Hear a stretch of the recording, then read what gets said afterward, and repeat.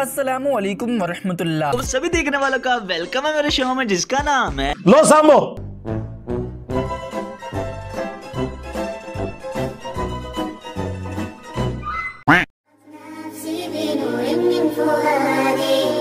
शाह जी की याद ताज़ा भी होती है। शख्स आया आपके पास मुझे जितनी याद है मैं सुना रहा हूँ। वाह सदके। वो आया और आकर उसने कहा कि वो जो इंजीनियर है ना वो जेलम वाला बहुत गुस्ताख है बुज़ुर्गों का मुझे मेरे वालिद जो इंतकाल कर गए हैं इन्ना लिल्लाहि व इन्ना इलैहि राजिऊन। मेरे वालिद जो इंतकाल कर गए हैं बड़ा सरमाया जेड़ा उम्मत उठ गया। उन्होंने आपके पास भेजा क्या करूँ मैं?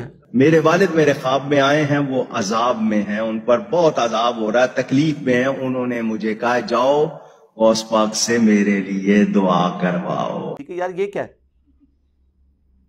कि ये क्या हो रहा है? वो परेशान हो गए कि ये क्या हो रहा है? गौस पाक ने फरमाया शाह जी तुसी आंदे हो ना फिर मनु आमद भी खास हो जाती जे। क्या तेरा बाप मेरा मुरीद था? नहीं। उसने कभी मेरे पीछे नमाज़ पढ़ी? पता नहीं। मेरे पास की मजलिस में आया? खुदा अदा ना शाह जी। पता नहीं ऐसे डेंजरस सिचुएशन में मैं ऑटोमेटिकली आगे कैसे आ जाता हूँ? मेरा लंगर खाया?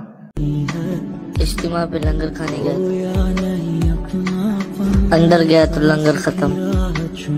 बाहर आए तो चप्पल गायब हो गई।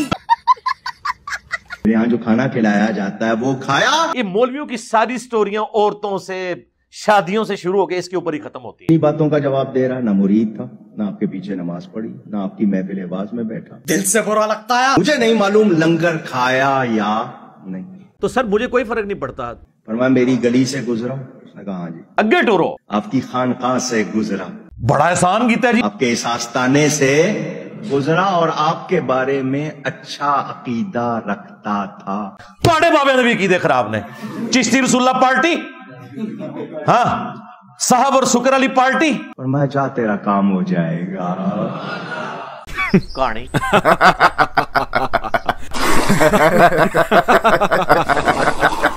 जिन्होंने गौस पाक से मोहब्बत रखी, और हम तो लंगर ही उन्हीं का खाते जिस शेख अब्दुल कादर जिलानी रहमतुल्लाह के नाम के ऊपर तुम चंदे इकट्ठे करते हो, ग्यारहवीं पका पका के खाते हो, कभी उस ग्यारहवीं के ऊपर तुम्हारी ज़रूरत नहीं है कि उसकी किताब गुनियत तालबीन से नमाज़ का तरीका बता सको।